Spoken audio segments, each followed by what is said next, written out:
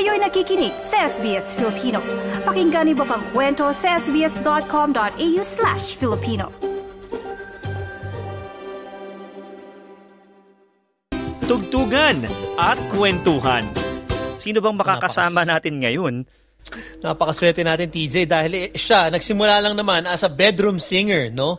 Tapos ngayon ay chart-topping artist na. At uh, itong kanyang mga musika, naku, alam mo naman, eh, base sa kanyang personal experiences, sa kanyang heartfelt uh, storytelling, at talaga namang nakaka-relate at kumukonekta sa mga listeners, di ba? Talagang human relationships at uh, yung personal na buhay din niya ang kanyang uh, binabahagi dito. At syempre, nakapag-collaborate na rin siya, nakatrabaho na niya ang mga uh, mga uh, notable artists dyan po Siyempre, di ba sa Melbourne sa Australia, itong mga Pilipino rin. Jay the Kid at Mark Human from 404 Music. At uh, ito nga, eh, meron siya pinopromote ngayon na awitin ng kanyang bagong single na Roka sa Sky. Welcome na natin dito para ibahagi ang kanyang kwento at ang kanyang, you know, musical journey dito po sa SBS Filipino. Welcome natin si Jerry C. Hello, Jerry C. Jerry, Hello. kamusta? Parang mata yung clap hand na ano eh. No? na-recorded. Diba dito si Cyrus Field din eh, para mag-clap. Kamusta, Jerry? Okay naman po. Ito, medyo ano naman, pagod lang. Oh. Galing din kasi sa, ano kahapon, sa gig. So, yan. Pagod na. Nakaki- Wala masyadong pero, tulog. Oo. Oh, oh. Eh, Dan, kasi galing ata si Jerry kagabi sa concert ni Hev Abby. Eh, yan isa sa mga sikat na artista na, na singer-artist din sa Pilipinas, di ba? Familiar ka sa kanya, di ba, Dan? Dahil sikat Oo, din yung... Uh, mm, nasa roster, oh. Nasa playlist ko yung mga kanta niya Aba. rin. Ah. Nag-concert ah, kagabi, okay. di ba? Tama ba, Jerry? Nag-concert Apa. kagabi at isa ka sa mga front act. Apo. So, I was one of the people na napili nung mga ano, uh, nag, nag, naghahanap sila ng mga local artists oh. dito sa Melbourne and luckily I had that opportunity so maraming salamat din. Naku, laking bagay Dan ano. Pero mm. bago natin puntahan Dan at mga kababayan yung mga bagong awitin ni Jerry at yung kanyang pagpo-frontak, simulan siguro natin yung kanyang buhay muna. Parang MMK muna tayo, 'di ba? Ano ba yung mga kaganapan ni Jerry? Simula kasi alam natin na si, si Jerry bata pa 26 ka pa lang Jerry or ano pa ba 26 years old, napakabata pa ni Jerry. Pero ano ba yung migration journey mo dito, Jerry? Ikaw ba um, ba ano, talaga dito ba pinanganak or ilang taon ka nung dumating dito sa Australia? So, pinanganak po ako sa Quezon City. Then nag migrate po kami, ay nag-migrate. Nag-move po kami sa Las Piñas kasi doon na po ako nag-aral ng grade school and high school. Then recently nag-move na kami sa Cavite. But in nga po um 10 years ago uh, around 2014 April po, nag-move na kami dito sa Australia, sa Melbourne. Right after kong mag-graduate.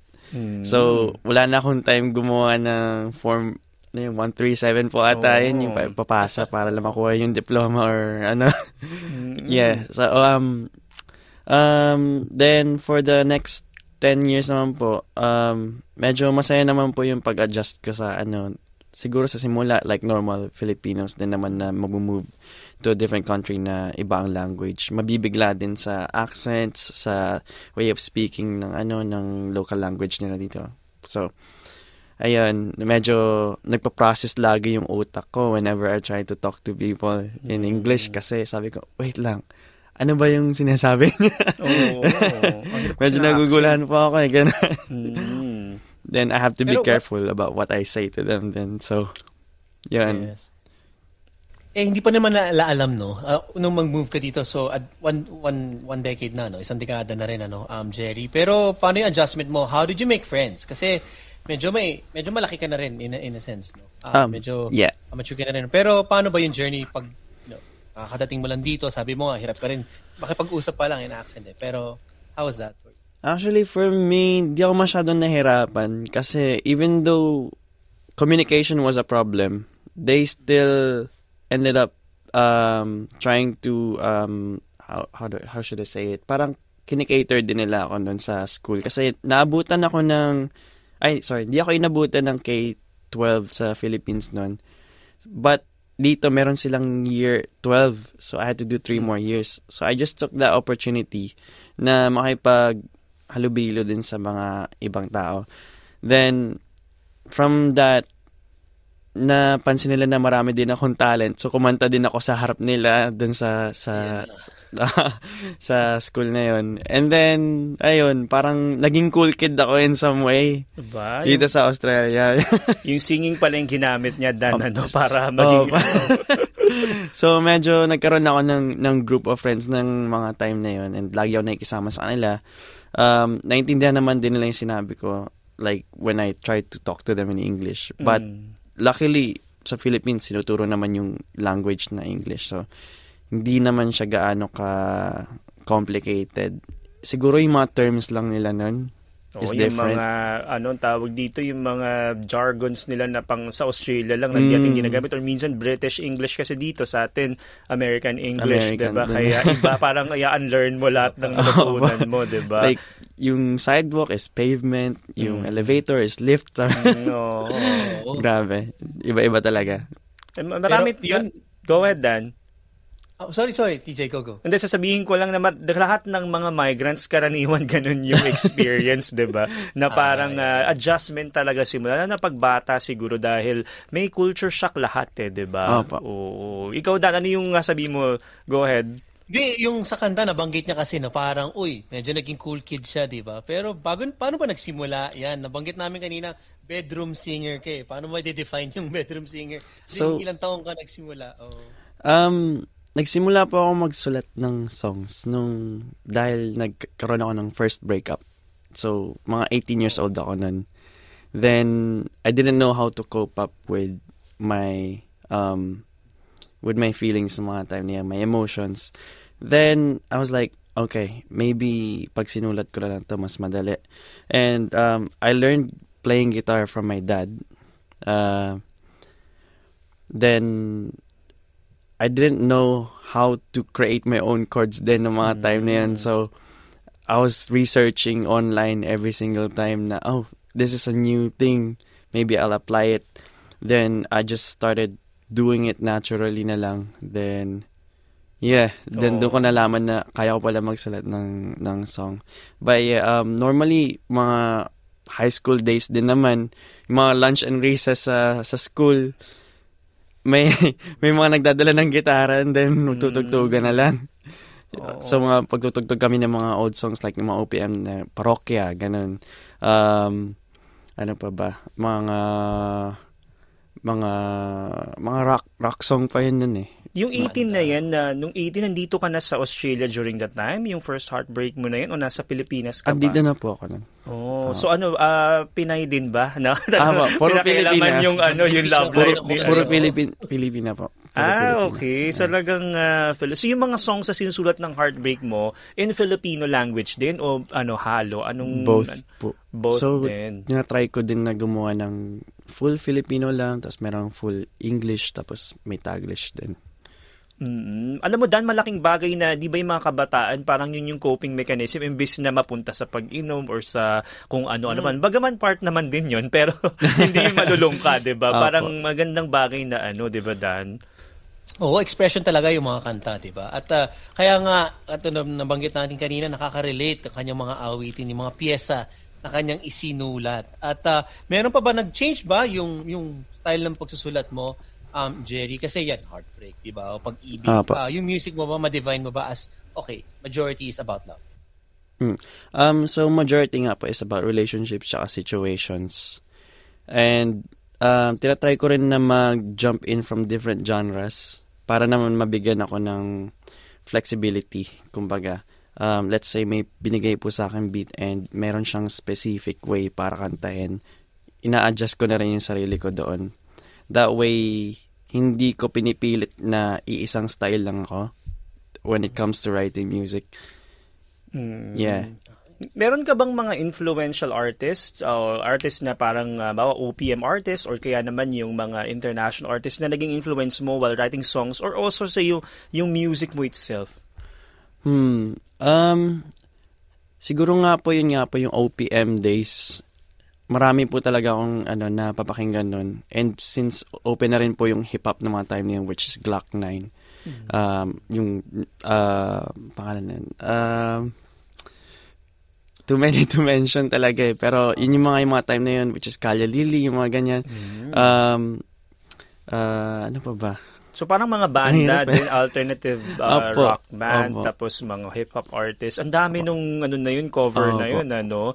Naaalala mo pa yung mga ano. Kasi alam mo, Dan, mga kababayan na, na Jerry, no, kahit ako pati si Sias nandito din, uh, nung sa Pilipinas, nung nasa Pilipinas ako, parang ang dating sa akin, hindi ko masyadong na-taken for granted ko yung ibang mga music natin, mga open. Pagdating ko dito sa Australia, parang miss na miss ko. Parang miss ganun, diba, may ganong feeling. Akala ko ako lang uh, lahat pala lalos ng migrant. Ganun pala yung pakiram. Ganun din ba ikaw nun? Opo. So, bale, instead of na, ano, na makipag tugtugan ako sa mga friends ko, eh, wala na rin ako masyadong makantahan ng mga Pinoy nun. Mm-hmm. Um, sa room na lang ako nagigitara. So, bumili na po ako sarili kong gitara dito. Ah. Then, inaral ko kung paano, kung paano mag, uh, mag, mag, mag, mag, ano ulit. paano ba explain? Oh. Yeah. So, so, inaral ko yung mga songs ulit. Then, dun ko na siya pinractice na pinractice. Then, over time yung vocals ko rin na mm. na en, na, enha, na na enhanced. oh, parang na-imagine ko na bukod dun sa heartbreak mo, isa rin yung sa coping mechanism mo sa bawa homesickness. 'Di ba? Syempre somehow na nandito yung family mo, pero iba pa din dahil madaming kaibigan doon ka lumaki. Parang gano'n ano Dan. Opo. Oh, mm. Jerry, no. Mm. Eh, ano ko, tanong ko lang kay, ano, kay, kay Jerry. Jerry, um, ngayon ba, eh, meron ka bang bagong inspirasyon? Ika nga, makikichika pa rin kami. After the heartbreak, nag-iiba ba yung ano, style ng pagsusulat? Kasi, sabi mo, situation. Or situationships, Apo. relationships. So, Pero, ngayon pa. Mm-hmm. Oh, Bali, mga ano, mga times na yan, since puro heartbreak nga lang siya. Puro sad songs lang na sulat yes. ko. But na in love din naman ako. And yun nga po, um, nagsusulat na rin ako ng mga love songs. Then, ngayon, meron na po akong partner, um, which is for, in the Philippines din, so LDR kami. Hmm. Um, nagsulat po ako ng love song na na hindi ko pa nare-release. But, um, one of the song, yung Rosas po, doon ko po talaga dinedicate yun sa kanya. Kasi may mga hmm. times na nag-aaway kami sa relationship namin. And I was like, oh, baka pwede ko siyang um, i-express through that. So when it when it says in the lyrics na isa, dalawa, tatlo, apat, lima, anim, pitong araw na tayo nag nag-aaway sa isang linggo. Ah. It happens in our relationship na isang linggo kami nag-aaway, parang di na kami, okay, bakit di na lang natin ayusin ulit? Parang ganun ba? Mm, parang so, situation, ano? Mm, so, Curious ako, no? Kapag nag-aaway ba, kinakantahan mo ba siya? Effective um, ba yun? I used to sing to her nung mga simula. Pero, um, gabi-gabi po kasi medyo na busy na rin po ako um, kasi nakaschedule po kami lahat ng mga kaibigan ko na related din sa music. And may mga times na nakakall kami and then may kinig na lang siya sa mga ginagawa namin. So, which is good kasi pagsasama yung bebe time sa ano sa work time kumbaga. Mm. Eh hindi naman hindi naman kami masyadong ano eh um um, strict sa isa't isa. Kumbaga, may freedom pa rin kami binibigay. Oh. So, Tsaka LDR, Dan, parang naisip ko tuloy, parang gagawa din si Jerry ng LDR song, uh, ano, bukod pa dun sa Rosas. Meron ka bang ginagawa ngayon na Meron po, meron. Nakadraft po. Oo, parang ano eh, no? parang talaga expect mo na yan sa kanya and Nako, eh, Jerry, uh, ito din tanong ko daw, no? Kasi medyo mahirap din mag-penetrate, di ba? Dito sa eksena, sa musika, di ba? Dito sa Australia. Pero how's that for you? Naman? Um, um I would say na... find the right people? Oh. Opo. Kasi ano eh, sa, ano eh, sa Australia po, medyo konti lang talaga ang mga Filipino. So, I mean, home hometown natin is Philippines talaga. So, andun lahat ng audience. So, if you wanna release something that is in Tagalog or, you know, kailangan talaga i-market sa Philippines. Mm-hmm. Kasi dun mo talaga mahanap yung mga tao mo, yung mga makikinig sa mga yeah, similar language like ano. Mm-hmm. So yeah, mahirap mahirap po siya. But may mga talented people po talaga dito na same din ang ginagawa, hindi pa namin makalimutan yung Filipino roots namin mm-hmm. na ano lang, uh, binabalik lang namin yung culture or dinadala ba namin yung culture ng Philippines dito. Kasi mm. mostly, if you're gonna go to a different country, mga bata rin yun eh. So, parang students ang nandito, yung nag, na, nakakausap namin. Mm-hmm. And, even though they are part of our audiences din naman, it makes us feel like, oh, we were, we were them in some way then uh, we miss home. Hmm. so why not bring home to Australia di ba? No, ganda so, nun na ah. mm, ganda nung binanggit na ni, ni Jerry na yun ano na we bring home yung Filipino roots lalo na dan dito sa Australia marami din tayong kababayan na sobrang homesick ano. Pero yun yung makinagandahan ng Spotify nung iba-ibang platforms that you ah, could do it here pero yung audience mo inter- lahat buong mundo basically di ba? Apo Oo. Masok ko. Ito kaibigan ko nakikinig, no? Si Ryan. Gusto niya yung tanong, actually, Jerry, ba may ikaw. phone in, ah? Oo, hindi, actually, totoo. Ito, nakikinig. Sabi na, international student siya eh. Gusto niya tanong, ah, paano ba nababalanse? Kaya ba? Pwede ba? Bawa, katulad daw siya. Kasi nag-work, nag-aaral. How do you find time din? Sa trabaho ka ba, Jerry? Um, May iba ka pang work. To be honest, How do you balance? Nag-quit na ako ng work about three oh, weeks wow. ago. Ito lang bago mag-guest. Para lang sa guesting ata ano nag-quit si Jerry. Sinugal ko na po. ah, wow. Okay. Kasi gusto ko na po talaga i-follow yung passion ko sa music. So, mm-hmm. I needed to get out of work. Plus, medyo toxic na rin kasi yung workplace and hindi na siya healthy when you're doing um, an 8-hour shift. Kasi I was an assistant manager po. Mm-hmm. And 8 hours per uh, per day, so five days a week na rin po. I find myself not being able to sleep na sa ano sa mga times. Kasi let's say I have to work in the morning pag uwi sa bahay pagod then you have to mm. write. And yung utak ko po pag nagsusulat gumagana lang siya around midnight then oh, so 3 o'clock sa 3 o'clock lang po ako nakapagsulat. Naku, wala talagang tulog, no? Wala talaga. puyat na puyat talaga. Opo, hanggang umaga. Oo, naku. Yeah, yes. Pala. Sakto nag-resign din kasi ako, Jerry, no? Alam niyo, alam niyo. so, parang feeling ko gagawa na ako ng kanta din ba or mag pursue music.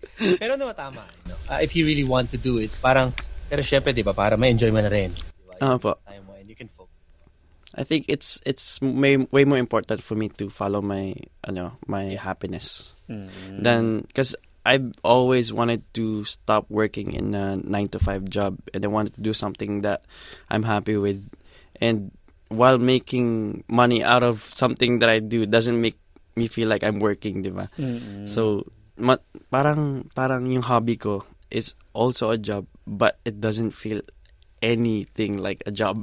mm. So, yun yung gusto ko ma-feel and yung ma- gusto ko, yun yung gusto ko ma-achieve that because you're just chasing after your happiness. Oo, nako sana all. Yun sasabihin ng mga tao, 'di ba?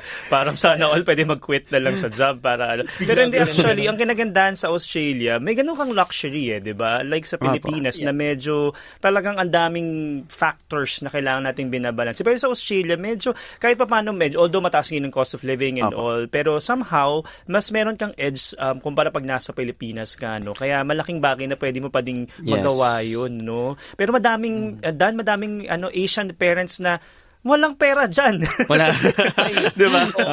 Ang uh, Filipino parent, walang pera dyan. Eh. May mga ganun bang sinasabi sa'yo yung parents? Kahit 26 ka na, pero syempre, alam mo naman sa atin Oo. sa Pilipinas, ganun talaga. Actually, my mom always asks me to move to a different job nung ano po, mm. nandun pa po ako sa previous workplace ko kasi sabi niya mas mataas po ang bayad dito. So, so try ko daw mag-apply na mag-apply to a different um, company. I was like, mm, hindi siya, ano ngayon eh, hindi siya, um, ano ba yung word na yun? in the mind. Uh, Limutan ko yung word. Pero in, in my situation, it's not something na hindi ko na hindi ko pa kayang gawin, kumbaga. Mm. Yeah. Yeah, so um nag-stick muna, muna ako sa job na yun and I used the money that I was earning from there to invest in equipment and you know, payments. Sabi nga ng mga kids ngayon, TJ, no, trust the process, ika nga. Oo. Oh, diba? oh. eh, no? Mga Gen Z ngayon, 'di ba? Talagang ganyan ngayon dan eh. Mas uh, mas uh, pina-follow nila ang kanilang mga dreams and passion, 'di ba? Kumpara sa mga mil- uh, hindi millennials nga nagsimula niyan actually, pero yung mga dating baby boomers sa Gen X nako, eh sunod talaga, 'di ba? Sa kung ano yung uh, naging ano ng uh, lipunan. I, I think I would count myself in the middle of ano eh, Gen Z and millennial. Ah, Kasi so I still act like a millennial but it started yung Gen Z kasi nag-start siya sa year ko din. Okay. Pero millennials kasi yung malakas. Ikaw yung ko. senior Gen Z. ako kasi millennial, senior millennial ako kaya millennial ang tawag sa akin. Kami sa kami ni. Dano, millennial kami. Senior na millennial. Kaya millennial. Pero yung ikaw, ikaw yung senior na Gen Z. So, Gen Senior. Hindi ko alam ang tama yung, yung tamang Pero- term. Junior. Oo, Jenior. Pwede. Pwede. Oo. Pero lang ko, teka, nakakapasar tayo ng kwentuhan dito, TJ, di ba? Ah, sa ating pong pagbabalik ay atin namang mapapakinggan na ang kanyang pinakabagong awitin, ang latest single niya na Rosas. At ah, syempre, ah, tutuloy natin ang ating kwentuhan at ating tugtugan dito ngayong pong Sabado ng umaga. Dito, syempre, sa SBS Filipino. Tugtugan at kwentuhan.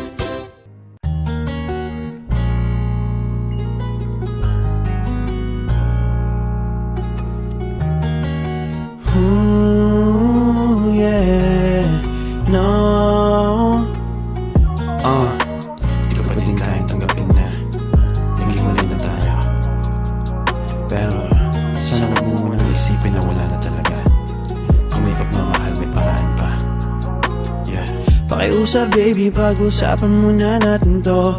Alam kong malabo pero sana'y mapakinggan mo. Hindi pa ako handa na bitawan ng pag-ibig mo. Kung ano mang meron pa sa atin, ipaglalaban ko. Di ka ba naghihintay sa aking telepono? Alas 4 na wala pa ring balita sa iyo. Umaasa lang na baka ay maisip mo ako. Halika dito sa akin baby, wag ka muna lumayo Tanggapin, harapin ang kinabukasan. Maraming maling dumating na di natin na iwasan Muling itanim ang rosas na pinahawakan Muling ibalik ating pag-ibig Huwag bitawan. No. Isa, dalawa, tatlo, apat, lima, anim, pito. Araw na tayong nag-aaway sa isang linggo. Para bang wala na tayong usap na matitino. Nagsisigawan kahit saman tayo Baby, di ko kaya na ikay mawawala sa piling ko. Nananaginip na ikaw pa rin ang baby ko. Sobrang sakit pa din isipin na nagkagulo. Pagmamahala natin dapat di natin hinayaang umunto Harapin ang kinabukasan. Maraming maling dumating na di natin na iwasan Muling itanim ang rosas na pinahawakan. Muling ibalik ating pag-ibig Huwag bitawan No ah.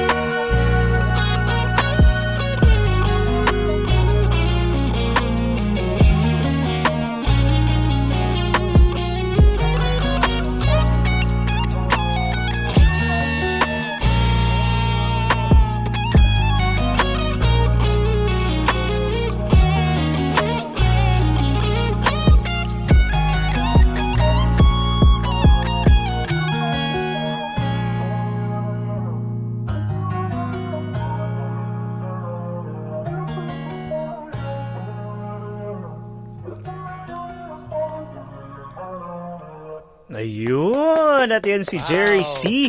At ang uh, pamagat yan ay Rosas. Nako, dahil alam mo na naririnig ko to sa mga, yung ganitong beat na ngayon na sikat na mga, like yung mga songs ng sining, museo. Nakikita ko sa top charts ngayon sa Philippines, ano, parang ganito yung vibe at nakakatuwa na marinig din dito sa Australia. At alam mo, alam mo Jerry, yung Dan tapi mga kababayan natin, yung mga pamangking ko na dito na rin lumakit pinanganak sa Australia, pinapakinggan yung mga gantong klase ng music na OPM. Kaya napaparinig ko to sa kanila para ano, mukhang ang sarap din i-follow sa ano, no. Dan, ikaw anong anong uh, na-observe mo? Ang ganda ng song at mga lyrics, 'di ba? Oo, ma- madaling pakinggan at uh, nakaka-relate talaga, 'di ba? So, kung medyo nagsisenti ka or gusto mo medyo ma-motivate ng konti, ito nung ginagawa mo eh. Alam mo 'yun, ang daling pakinggan, ang ganda ng beat, ang ganda ng flow nung uh, pagkanta niya. So, ayun ako eh. Tanungin natin si si Jerry. Jerry, ano bang inspiration nitong nitong kanta na to? Paano ba to nabuo mismo? At gaano katagal mo to ginawa? Um, so, nung nag-send po ng beat sa akin yung uh, producer ko, si Mark, um, actually, sabi ko sa kanya, gusto ko magsulat ng may guitar kasi nagsimula din ako sa guitar. So, yun yung, yung inad namin sa kanta. Mm-hmm. Then, um, naghanap din ako ng sad song na vibe kasi may pinagdadaanan din ako ng mga time na yun. So, nag-aaway kami ng, ng girlfriend ko. Um, then, for after two weeks, doon ko lang siya na sulatan. Mm. Then, I was just in the shower actually. then I was just counting. So I started thinking of how to write um the verse. Mm. And then while I was in the shower, I was like, isa, dalawa, tatlo, apat, lima, anim, pito. I was like, wait, that's seven. Seven days a week. Sabi ko, oh, what if tinagalog ko yun? then, dumire-diretso na siya. So, um, it became a song about fixing the relationship because I related that that line, starting from that line na nag-aaway kami, into me trying to fix it. Because mm. I always want to fix my relationships, even with my past uh, relation, relationships then. Um, I try to not give up. I try to bring the spark all the time. Na let's say, baka nga nagsawa na sila. Kasi in a relationship, you don't really stay happy all the time eh. Mm. 'Di ba? Nawawala talaga 'yon kasi love is not really a feeling, it's a choice. If you wanna stay, you would fight for that and mm. you stay. Naku, para yeah, namang ang tanda na niya, no? para magsalita ng mga ganito. Pero ni tama yun, yung love it is a decision, di ba? Every, mm. It's everyday decision nga yes. daw, sabi ng mga nakakatanda nating kakilala. Katod ni Papa Dan na itong love expert. Pero Dan, Oo. Tanungin natin si Jerry dahil nga ito yung collaboration, 'di ba? Na hindi lang siya dahil maraming tumulong nabanggit na si Mark kanina na producer niya. Ang um, nakikipag-collaborate ka pa ba din ba sa ibang artist or paano mo nahanap yung grupo na yun para para kasi bawa ako, bawa sabi mo international student or any migrant, ay parang gusto ko yatang makip, mag, magsulat din pero paano ko hanapin yung mga tamang tao na would really put me in that direction? Yes, so that's one of the challenges din kasama sa sorry, excuse me. Um, sa yun sa mga challenges na kailangan mong pagdaanan because you might be good at something but you need a team to actually do the whole um do the whole project.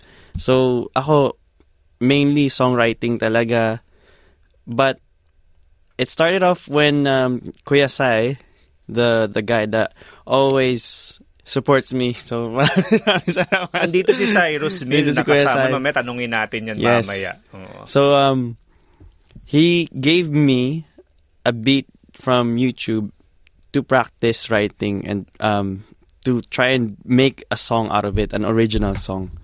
Then while I was going through that song na nagsusulat ako, I was just hopping on in this app in the computer. It's for video games, but meron na siyang social thing na nangyayari. So, may mga social servers doon. It's called Discord. So, everyone talks yes. in Discord now. Um, mm.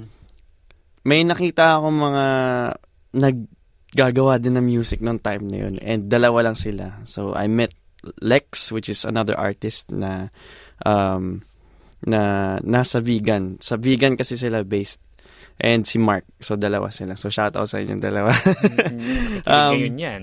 yun, uh, andun sila sa vegan nun. Then, um, while we were just in a call, parang, oy, gumagawa lang din kami ng kanta. Sabi ko, ay, ako din, nagsusulat din ako.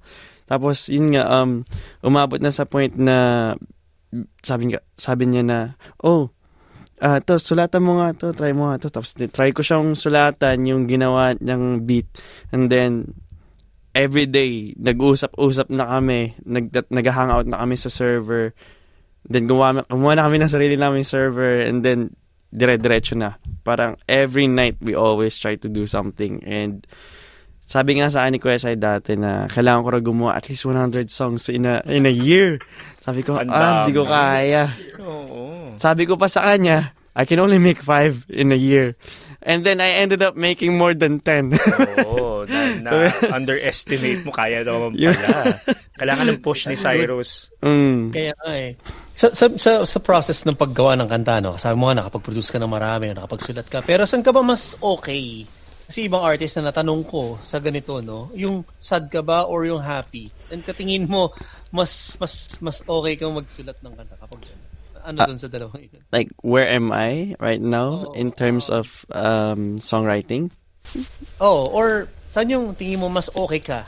Mas okay ka magsulat? Mas maganda yung nagagawa mo? Actually, oh, opo. Sa pagsusulat po, dun po talaga ako mas mas uh, skillful kumbaga. Pero kung kung ano ang tatanong ni Dan, kung, kung bawa pag malungkot ka ba or pag masaya ka doon ka mas magaling mag ano, ah, mag uh, magsulat. Actually Depende. Pero pag masaya ako, may mga nasulat akong happy songs. If I'm sad, I write the sad songs. Kasi when you're still in that mood or in the moment, yung nararamdaman nyo that time, yun yung gusto nyo ilabas eh. Mm. So I put it straight directly sa sa lyrics ko. And then yun na nagiging relatable na siya kasi di lang naman siya sa akin nangyayari, sa ibang tao din siya. So kahit anong emotion pala dan, mm. yun ang uh, ano niya. Pero yun nabanggit mo yan um, uh, Jerry no, itong um, parang mga achievements and struggles. Ngayon lumabas yung Rosas. Ano yung unang pakiramdam mo na parang sandali, parang finally after ilang years mong ginagawa. Ano yung na naramdaman mo during na ilalabas na yung single or before before nga? Actually, sobrang saya ko noon kahapon nung na-release ko na siya. Kasi I never thought that my song would be out in a platform. And nung nakita ko na siya, oh, finally, it's there. Um, kinuha na ng screenshot, kinuha na ako ng picture. Sabi ko, this is an achievement. Because before, I would just sing in my room in a guitar and not record it, and I would be the only one who can hear it. But now people can hear it.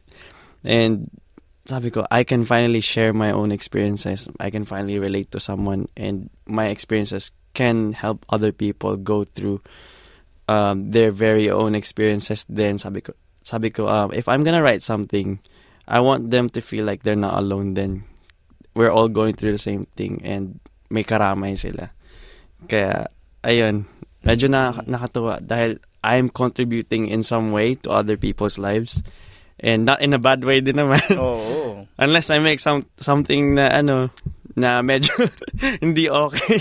mm. So may mga songs din kasi na ano na sulat ko na more for party rin. And may mga songs talaga na for relationship. So it really depends on the content lang din. Quickly lang no. Anong reaction nung nung tao na pinaghandugan mo ng rosas? Ayan, narinig mo ba, nalaman mo ba kung anong reaction niya? Um, ano, nag-message siya sa akin na sobrang proud siya na nakalabas na ako ng, ng song. So, yun. mm. Masaya naman. Happy din. Eh, paano yung mm. parents mo tsaka yung family mo na parang dati siguro baka, ay sabi niya walang ang pera dyan, anak, mag-nurse ka na. Baka may mga ganun. Hindi naman. diba, pag yung na-release mo na yung sumo, ano namang reaction ng family? So, wala naman nangyari sa amin yung mom ko kasi parang supportive lang siya sa lahat ng mga ginagawa namin. And she's gone through all that. So we came from nothing sa Philippines to the point na she now has two businesses that she runs. Plus, she just bought another cafe. So sabi ko, she worked hard for it. Wow. And then, yeah. she really wants the best for us na magkakapatid. Na makuha yung mga gusto namin. And at the same time, learning in the same, ano, in the same process na pinagdaanan niya na mahirap talaga na kumita on your own. So, hindi niya kami sinaspoil, but she gives us the freedom to learn din. So, yun yung magandang ginawa sa amin ng mom ko. Mm. Mm. Ako, nakakatuwa mapakinggan yan. No? so, at syempre, uh, sa ating pang pagpabalik, no, tutuloy natin ang ating kwentuhan. Uh, kumustahin natin, kumusta ba yung performance niya kagabi, di ba? Opening for one of the biggest artists ngayon sa Pilipinas. At syempre, ang kanyang mga future plans pa sa musika at sa kanyang buhay. Nako, lahat ng yan sa ating pagbabalik. Dito lang, syempre, SBS Filipino. Tugtugan at kwentuhan. At nagbabalik pa rin ang SBS Filipino. Kasama pa rin si TJ Korea at si Papa Dan. At kasama natin si Jerry C. dito, Dan. At alam mo, Dan, ngayon, kasama niya ngayon, ang isa sa mga tumutulong sa niya, binabang niya kayo si Kuya Cyrus, eh, di ba? Andito si Cyrus Mill kasama natin. Gusto na tanongin na natin, hinila ko na, Dan, para ma- malaman natin kung paano naman niya ini-encourage yung mga itong bagong artist na nandito sa Australia. Cyrus, welcome muna sa SBS Filipino. Thank you, thank you, thank you. Kamusta na lahat? Ayan, si Cyrus Miller also is an artist as well, 'di ba? Pero Cyrus ikaw, um uh, na-interview ka na before nila Dan and Claudette. Pero ngayon tanungin kita, yes. ano yung paano mo um sinusuportahan, and encourage yung mga gantong bagong uh, dugo ika nga sa sa larangan ng mu- musika? Para sa akin, I've been in Australia for about 32 33 years na ngayon. Eh, nawala yung parang nawala yung culture sa akin, nawala yung kahit yung Tagalog nawala din. Mm-hmm. Eh na nakita ko, eh, marami tayong mga bata, marami tayong mga talent na young people, but they don't have a platform. Mm-hmm. So that's why Barkada Now was created, para bigyan natin sila ng platform. And in the same time, alam, alam natin na may mga uh, talent uh, na gusto talaga nilang gawin, at saka yung iba parang happy-happy lang o party-party lang. So, tinitingnan ko yung mga artist na kung may potential, ini-encourage ko talaga sila kasi hindi mo alam kung ano ang mangyayari sa kanta, di ba? Kung pag sumabog, mm-hmm. ayun na. Ginaguide mo, ika Ginaguide ko talaga, okay, itong gagawin mo. Kasi, uh, nasa entertainment talaga ako, 30, uh, 20 years na. I'm the first Filipino dito sa Australia na nagkaroon ng hip-hop dance studio na mm-hmm. ano hip-hop talaga siya sa I represent the west side of Melbourne And nakikita ko talaga marami marami uh, mga young Pilipino talaga na may talent pero walang guidance. Mm-hmm. So yun yung inano ko na sinabi ko, o oh, sige, I won't force somebody but I will give you feedback. Kung gusto mo, I will mentor you and let's see what happen. Pero ang gusto ko makita na ang gusto ko makita na may ano tayo, may uh, consistent kasi 6 months to 1 year, doon natin makikita kung talaga itong gusto mo, kung ayaw mo. Mm-hmm. Kasi maraming oras ilalagay natin sa mga ano mo, sa mga passion mo. Ito si Jerry C. Yung na first meet ko siya uh, sa Jowa Night, yung isang kaibigan ko na-invite siya sa Jowa Night kasi nag-host kami ng Jowa Night sa Crown Casino. Eh, sabi ng kaibigan ko, ay kuya, ito magaling itong kumanta. So, party talaga sa Crown Casino. So, yung isang kantang Pilipino, binigay ko na yung mic sa kanya. Mm-hmm. Doon ko narinig yung yung vocal niya. Sabi ko, ito yung ano ito. May may potential, may potential. talaga ito. So doon pala nakikita mo na. Nakita no, ko na. Oh, and then sabi ko, Jerry, kung gusto mo anoin kita, but you just have to listen. Gu- uh, I will guide you. Gawin mo talaga. Ano, binigyan ko siya ng challenge. Ano, nag-interview, in-interview ko pa siya para makita ko talaga kung ano talaga yung nasa isip niya. Mm. Doon ko nakita na uy, magaling sumulat ito kasi maraming emotion na gusto palabasin. Mm-hmm. Yun. So ngayon, marami ngayon, uh, Barkada Night, Jawa Night, marami ng mga Australian Filipino, ang um, young Filipino, lumalabas na talaga na gusto na nila na ipakita talaga nila yung mga talent nila. Oh. So, doon, mag- doon na tayo. Yan pala. So, so parang nagbubuo yung, yung mga ganitong platform ni Cyrus, eh nakaka-discover, Oo. no, Dan, ng mga ganito. Dali parang kailangan umaten sa Barkada Night at Jowa Night. welcome, welcome, welcome. Para makama-discover tayo, di ba? Nako, thank you, Cyrus, ha. At uh, balikan you. natin ngayon si um, si Jerry. Um, uh, uh, Jerry, ano yung mga inaasahan pa? Naku, kaka-release lang kahapon lang nga ba? Ano pa yung mga ini- inaasahan na aasahan namin from you? Actually, for now, um, if you guys want to listen to my other songs, the only way you can hear the unreleased ones is if you go to Barkada Night. Aba, Dun exclusive talaga. pala. Doon lang talaga. Sa atin. Until I release, uh, I re- release. until I release it sa oh. ano sa sa public. So sa ngayon Rosas muna but it will take time for the other songs kasi hindi lang naman siya song lang. Um you still have to create the cover arts for it. Uh, it takes like yep. weeks to actually get everything finished. So yun nga medyo mabagal yung process pag release ng mga songs kasi hindi naman ako ano eh nasa malaking malaking team din eh. So mm-hmm I try to handle those myself with my my friends din. And naghahanap ako ng mga ibang artist din sa Philippines. Um, so I'm following his footsteps na rin na some artists in the Philippines are very good.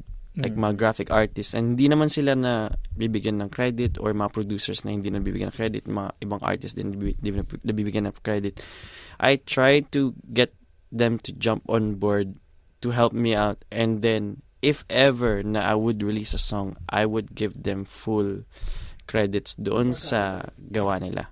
Mm-hmm. So, that's the whole movement din kasi is we want to give the people a chance to be in the spotlight. na hindi namin kailangan ng ng magdamot kasi nasa sa amin ang resources, nasa sa amin yung yung kilos. All we have to do uh, all we have to do is make them you know realize that hey, I can be something. Then here you go. Work on this one and then we'll just collaborate. And then hindi na tayo naghihilaan pababa. Gusto ko lahat kami umaangat. So I always try to bring my friends out then na uh, hey, di na natin kailangan magstay dito sa point na ganyan lang. Let me help you. You help me, I help you. So, ganun lang. Yun. Uh, Jerry, quickly, no? Kailan yung next Barkada Night? San ka ba susunod na mapapanood? Mabilis lang. Nako, hindi ako yung makakasagot niyan. si Kuya sa iba. Lang, sige. Actually, may, may, may on the works na ano eh, na venue eh. So, yun lang. Favorite ko yung Pero venue saan ka yun. mapafollow? Halimbawa na ano, na bawa yung music saan available at also, ikaw, ka- saan ka ba pwede i-follow ng mga listeners or mga od- ng audience? Um, so, uh, meron akong Instagram and Facebook page. Uh, pwede nyo akong i-follow sa Jerry C sa Facebook. And doon naman sa Instagram, um, all small caps except for J and C, um, the only underscore Jerry C. And then sa Spotify, Jerry C. Yun lang. Yung Jerry mo ay single R, di ba? Just to be single R lang siya. J-E-R-Y-C. Mm. Yan. So, para sure lang kasi baka di, hanapin Normally nila. kasi, oh, O, may double, double R, R. di ba? O yan, Dan, i-follow na natin si Jerry. Sino ko, pero maraming maraming salamat, Jerry, sa pagsama. At ganun din kay Cyrus. Thank you No sa inyong dalawa. Ayan. At abangan yung ah, iba pang mga ilalabas ni Jerry C, no, Dan, ah, sa, sa, ito, sa Spotify at sa iba pang ah, streaming platforms. Mm. Ayan, Oh, ako, thank you very thank much, you. Jerry. ah. At sana mapanood ka namin ng live very soon. Yes po. Thank you. Ayan, na napakasama din si Jerry C dito sa Tugtugan at Kwentuhan. Tugtugan at Kwentuhan. I-like, i-share, mag-comment, sundan ang SBS Filipino sa Facebook.